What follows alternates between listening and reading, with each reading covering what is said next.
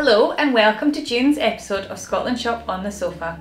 This month we've been exploring all things Clan Armstrong and it's been a real treat to find out more about this fearsome Border Reaver clan. We've had lots of fun learning about Clan Armstrong, but sadly we're not experts as much as we wish we were. Please let us know if there's anything you think we've got wrong or if we've missed anything out. We would also love to hear from you if you have connections to Clan Armstrong. You can reach out to us in the comments or drop us a message and let us know what being part of the clan and sharing its heritage means to you. So let's get started right at the very beginning with the legendary tale that marks the start of Clan Armstrong. Over to you. The story goes that a Fairbairn, an armour bearer to the King of Scotland, was riding into battle one day when the King was suddenly unseated and thrown from his horse. The Fairbairn saw this and reacted heroically, and lifted the king back onto his horse using just one arm. Understandably, the king was deeply impressed and grateful, so much so that he thanked the Fairbairn by granting him lands on Liddesdale and giving him the name of Armstrong to honour the great strength he had shown. And so, the great Armstrong name was born. This story really sets the tone for what was to come with the Armstrongs, as they went on to become a clan renowned for their vigour in battle and their steely disposition. In 1528, the Armstrongs could assemble 3,000 armed horsemen ready to fight at extreme short notice, and they apparently inflicted more damage by foray and plundering than any other clan. Fighting was a skill instilled and nurtured from birth for Armstrong children. One of our favourite facts about the clan is that when a baby boy was christened, his right hand would be left out of the ceremony so he could grow up to strike unhallowed blows on anyone who crossed him. It's easy to see how they raised generations of such great warriors. I wonder, like, did they just like have a hand out? like, out, yeah. like just don't put any water on there.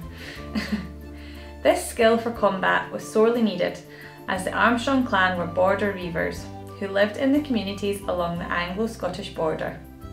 This meant that they were used to, used to near constant turmoil as England and Scotland battled ferociously for control in an almost 300 year long war which spanned from the late 13th century up until the early 17th century.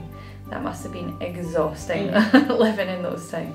More specifically, the parishes of Canonbie and Kirkandrews changed hands frequently between the Scottish and English, forming a 7,400 acre area that came to be known as the debatable land, because no one could ever quite keep up with whether it belonged to England or Scotland from week to week. The Armstrongs lived in and around the debatable land, situated around 80 miles south of Edinburgh and 10 miles north of Carlisle. They used their formidable strength to gain power amongst this turbulent landscape, not only over the English, but also over opposing Scottish clans because you know they love a battle. Yeah. Consequently, they ruled the greater part of Liddesdale and later also took over Eskdale and Annandale. However, we don't want you to think of them only as heartless and cold warriors. Some of our favourite Armstrong tales show the great loyalty and care they held for each other within the clan. A great example of this is the tale of Kinmont Willie of Stark and Scott of Buccleuch, a pair who ended up impressing even Queen Elizabeth of England. A very unlikely and impressive feat. Kinmont Willie of Stark was widely respected and feared as an imposing reaver, who was infamous for crossing the border into England and raiding thousands of sheep and cattle at a time, bringing them home to feed his family and his clan. One day, however, his luck failed him, and he was unfairly caught by the English and imprisoned in Carlisle Castle on what was supposed to be a tree of truth. A fellow reaver and Armstrong, Scott of Buccleuch, was outraged to hear this, and he immediately swore to rescue Willie. He led a daring and fearless mission and succeeded in breaking Willie free from the castle and bringing him home to Scotland. Supposedly, on hearing this bold escapade, Queen Elizabeth demanded to know how Buccleuch could have dared to invade her land and face her soldiers. He is said to have replied with the impressive tenacity expected of an Armstrong clan. What is it, madam, what a man dares not do? Despite herself, Elizabeth apparently could not help but be impressed by her enemy's courage and spirit. Another famous reaver was Johnny Armstrong of Gilnockie, who sadly had a more tragic end than the pair we just discussed. He was a notorious plunderer and raider with an influence great enough to threaten even royalty. In 1530, King James V had grown tired of Armstrong's antics and ability to control the land around the borders. He felt that Armstrong's strength undermined his own power, and so he started to plot to get rid of him. King James invited Armstrong to meet, promising that he simply wanted a friendly visit and that he would have nothing to fear. Armstrong took him at his word and set out to meet him un- unarmed.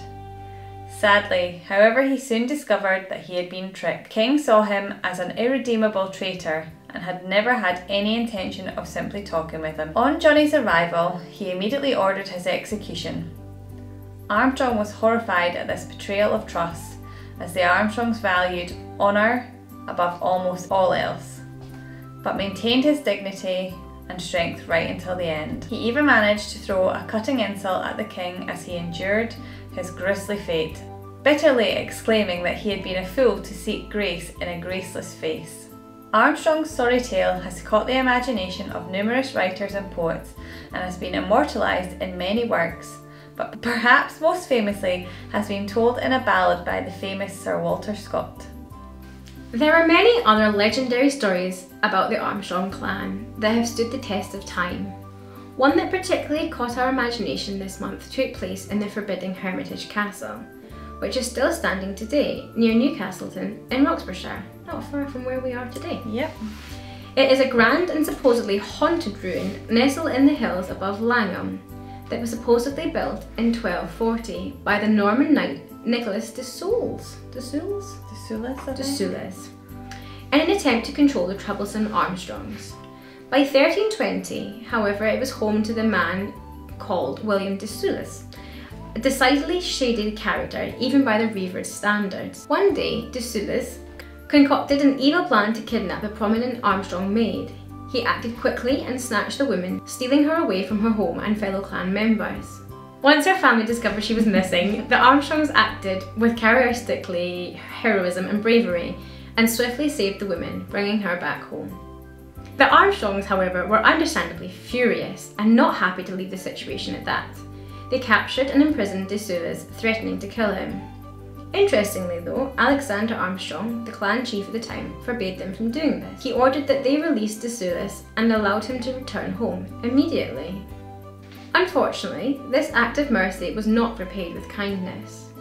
After his release, De Soulis invited Armstrong to Hermitage Castle under the guise of making peace, but instead murdered him in cold blood. The legend goes that the Armstrong clan then captured the castle and boiled De Soulis in molten lead. A grisly end, undeniably, but it's hard to feel much sympathy after hearing of his treacherous acts. Bit of karma, maybe. in Yeah, absolutely. It is widely believed that De Soulis practiced dark art and a demon he conjured still haunts the castle to this day. Writer and historian Walter Elliot has been quoted saying that Hermitage Castle is an evil place. It feels evil. If you're feeling brave, you can visit you can plan a visit to the castle today and discover the site of this gruesome tale for yourself. If the gore is all a bit too much for you though, there are plenty of other places you can visit that have fascinating links to the clan Armstrong. And fewer demons and ghosts. I think I might add that one to the list and go and give it a try. It doesn't look that scary No. from the outside, but Maybe at night. Yeah, I wouldn't be going No. at night, absolutely not. One of our favourites is our castle of the month for June, Gilnockie Tower, which was built around 500 years ago, sometime between 1490 and 1520. It is thought to have been the home of Johnny Armstrong of Gilnockie, the infamous border reaver we discussed earlier in this episode. Gilnockie Tower was also supposedly used as a headquarters for reavers to meet and plan raids across the Anglo-Scottish border. It was the perfect place for this, as from the top of the tower you can see for miles across the countryside into England. So any approaching rivals would have found it very difficult to avoid being detected. And the ever-present view of the enemy, la- enemy land must have been an enticing temptation for the ferocious Armstrongs. It seems that the tower was built with battle in mind. It was constructed with limestone and sandstone, and the inner and outer walls have a cavity between them, which is filled with stone, rubble, and wood. This may have been to provide insulation and protect from the biting Scottish cold. Or it could have been a defensive measure to make the castle more resilient against rival cannon attacks. Can you imagine them like coming up with big cannons, like And just, like attacking, yeah, it's quite pushing up scary. the hill? However, Gilnockie Tower was not just a place for warfare. It had five floors, including a vaulted chamber, a banqueting hall, and a spiral staircase. Sounds very grand. very fancy. we find it fascinating to imagine the notorious Johnny Armstrong and his family living out their daily lives against such a regal and imposing backdrop. Quite nice living in a house with five floors. You get a lot of steps in. Goodbye. Though it was once a roofless ruin, the tower has recently been completely refurbished and is now open to visitors. The site also houses the Clan Armstrong Centre, which is home to countless reaving artefacts and the world's largest collection of Armstrong archive. If you are interested in the notorious Border Reavers or the mighty Clan Armstrong, this is definitely not one to miss off your bucket list. Yeah. So far today, we've learned a lot about historic famous Armstrongs and their castles and territories along the wild border landscapes of ancient times. However, it seems clear to us that their bold and daring attitude has endured across many generations and seems ever present in more modern descendants of the Armstrong clan. Arguably, the most famous member of the Armstrong clan is Neil Armstrong, the first man to walk on the moon. Neil was born and raised in Ohio, USA, but was of German, Scottish, and Scots Irish descent. Quite a wee mix. Yeah. His passion and talent for aviation was obvious from a very, very early age. He became a licensed pilot on his 16th birthday, pretty impressive, Yeah. and a naval air cadet at the age of 17. Most of us weren't even driving by then. Exactly. He went on to study aeronautical engineering at Purdue University in Indiana. But his studies were interrupted in 1950 by his service in the Korean War, during which he survived his plane being shot down. His brave conduct during this time reflects his links to the courageous Armstrong clan, and he was awarded three air medals. A thing to survive. No, Yeah. wow. No wonder he wasn't scared to go to the moon. He finished his studies in 1955 and was employed as a research pilot by NASA. On the 16th of July 1969, Armstrong, along with Edwin E. Aldrin Jr. and Michael Collins, blasted off in the Apollo 11 vehicle towards the moon on his way to undertaking one of science's greatest feats. Just four days later, at 10:56 p.m. EDT on the 20th of July 1969, Armstrong stepped from the vehicle onto the moon's surface and spoke the now iconic words. That's one small step for man, one giant leap for mankind. But it was also undeniably a gigantic leap for Clan Armstrong, as in that moment they became the first clan to have made it into space. An enviable accolade. One of the reasons NASA chose Armstrong for the mission is said to have been his humble and modest nature, which was made evident by the fact that after Apollo 11, he shied away from being a public figure and dedicated himself mainly to more private academic work. However, he broke his usual customs to honour and embrace his Scottish ancestry and clan links when on the 11th of March 1972 he visited the small town of Langholm, the traditional seat of the clan Armstrong. Didn't know that. I had no idea, and I've been through Langholm quite a few times. Like, do they have a statue or anything? I think there's photos and there's like pictures of them all standing, but I yeah, would want don't a a little plaque or something. want a like, I don't know, astronaut. statue. astronaut. Eddie Armstrong, the Langholm town clerk, had written to Neil during the Apollo 11 mission to invite him to become the town's first and only freeman, an honour similar to being granted the keys of the city, and the town received his acceptance with much excitement and enthusiasm. It seemed that Neil himself also gained a great sense of community and belonging from the experience, calling the small town his home in the following touching quote. My pleasure is not just at the honour according me in this land of Johnny Gil- of Gilnockie, but as a genuine feeling I have amongst those hills, and more particularly amongst these people. Thank you for this great honour. It is said that the most difficult place to be recognised is one's hometown, and I consider this now my hometown. We love to hear stories of people finding a sense of home by connecting with their heritage. Please let us know if you've had any similar experiences, whether with Clan Armstrong or any of the other Scottish clans we have explored over the years. Other modern day descendants of the Armstrong clan have achieved impressive physical feats closer to home. One notable example being Gary Armstrong OBE, who is a former Scotland international rugby player. His links to the clan seem to be reflected in his career as he played for the Border Reivers among other teams and was given the nickname Border Terrier. it's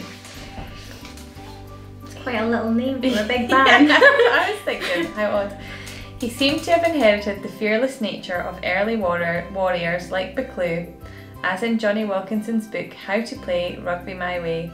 Wilkinson refers to Armstrong as the scrapyard dog. It's a little bit better than Border Terrier. Sounds a bit angry though, you know, Yeah. terriers are pretty aggressive. Saying that he had never met anyone as tough as him. Armstrong captained Scotland to victory in the 1999 Five Nations and has received many accolades for his career, including an OBE in the 2000 in the 2000's New Year honours.